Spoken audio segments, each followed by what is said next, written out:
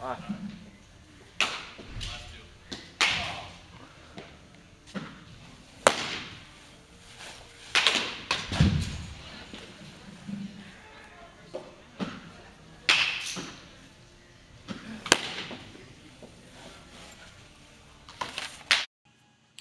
this is Dan Blewett. It's uh, Sunday, March 24th. Uh, I just threw bullpen number seven.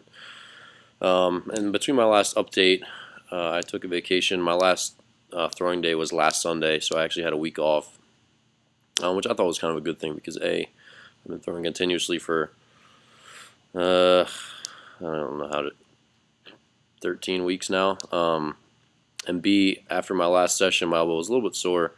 Um, I finished my last, I did 60 throws, three sets of 20. In my last set of 20, I was uh, 74 to 76. I think I popped to 77. Um, so again, just and I wasn't pushing it, just kind of going where my arm wanted to go. Um, felt fine during a little bit of itchiness here and there, but you know after it, uh, I was a little sore the next day, and into, into Wednesday I was a little bit sore. So I would have thrown on Wednesday, but um, being in Colorado, I decided uh, just to let my arm relax for the week. So today I did the same. I had 60 throws, um, and my last about 30 or 40 were in the 75 to 76 range, 74 to 76 range, and then my I had a couple handful of 77s and 78. Um, more balls were at 75, 76 this time than they were last week.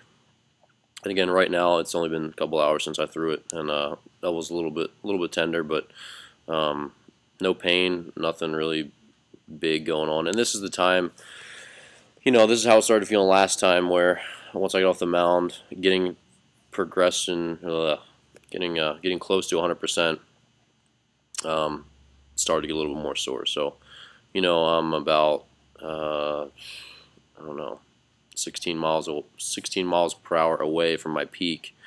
Um, so it's getting pretty close. You know, I'm within I'm about 80% of my previous velocity. So, um, so I'm not worrying about it too much. You know, I'm just sort of going, hey, if my arm doesn't feel quite as good one day, I'll just sort of back it down a little bit.